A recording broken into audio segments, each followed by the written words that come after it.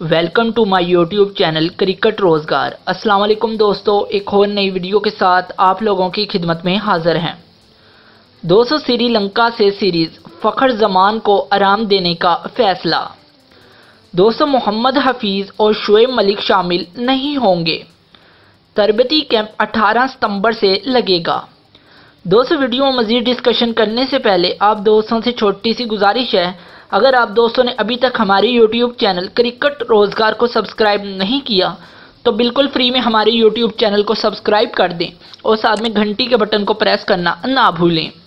دوستو، ویڈیو اچھی لگنے کی صورت میں ویڈیو کو زیادہ سے زیادہ لائک اور شیئر کریں۔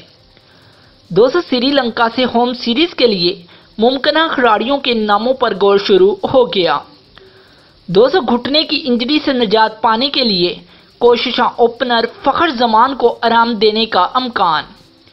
دوستو، ان کا خلاف پر کرنے کے لیے عابد علی مضبوط امیدوار ہیں۔